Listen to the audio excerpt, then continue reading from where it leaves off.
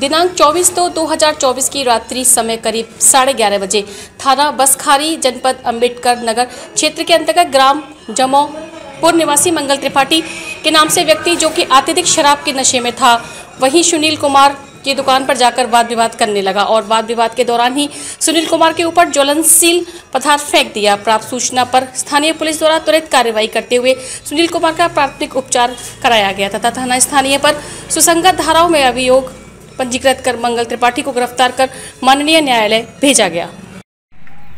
चौबीस फरवरी की रात साढ़े ग्यारह बजे थाना बसखारी अंतर्गत जमोपुर गाँव के रहने वाले मंगल त्रिपाठी, जो कि अत्यधिक शराब के नशे में था, वो सुनील कुमार की दुकान पर जाकर वाद विवाद करने लगा। वो वाद विवाद के दौरान सुनील कुमार के ऊपर ज्वलनशील पदार्थ फेंक दिया। पुलिस ने त्वरित कार्रवाई करते हुए सुनील कुमार का प्राथमिक उपचार कराया और प्राथमिक उपचार करके भेज दिया।